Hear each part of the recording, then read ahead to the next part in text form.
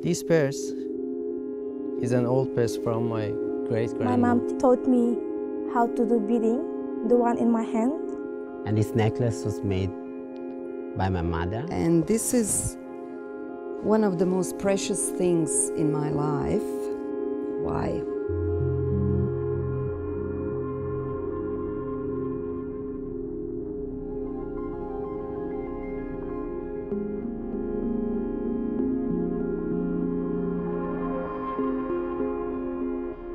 My name is Amal.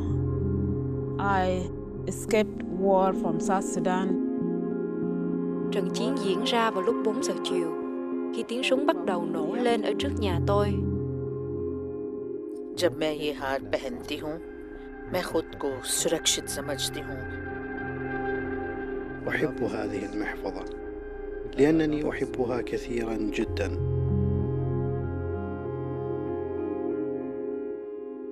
Somehow we survive. God give me a second chance to live.